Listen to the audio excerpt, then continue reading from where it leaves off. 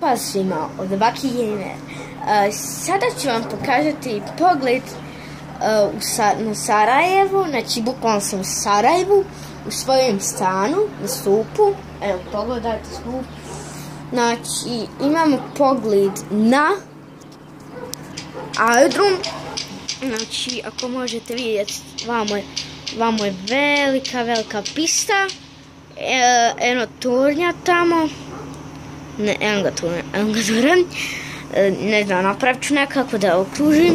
Znači, bukvalno smo na stupu oni zgrade. Ima to koga ovako ima, vidjet će me. Ovako. Uh, ovamo je motel i vamo su iste nešto slično ovim zgradama. Eh, tamo je McDonald's Sarajevski. Tamo, tamo, tamo, tamo, tamo.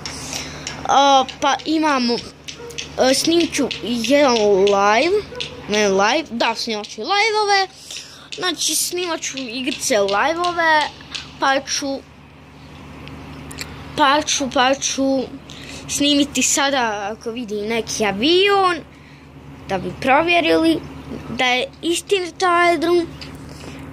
Ok, ljudi, ja mislim da ću sada zaustaviti i gledat ću da li ima aviona. Znači vamo je ekstra, Vamo, vamo, vamo, vamo.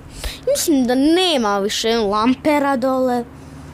Mislim da nema više uzlijećanja ili sletanja. Možda ima sletanja, ali ne znam. Tako je u Sarajevu.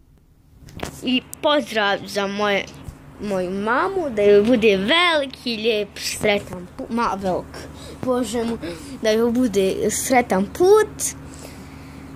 Ljubim te mama i eto, i pozdrav za Emra Hadžića također. I za moju rodicu lijepu Marinelu Čelinković. Marnela poz od mene. I tako dalje. Cijeli razred pozdravljam. I Suzle, ja sam u Sarajevu.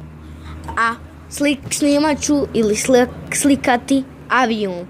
Ljudi, čao!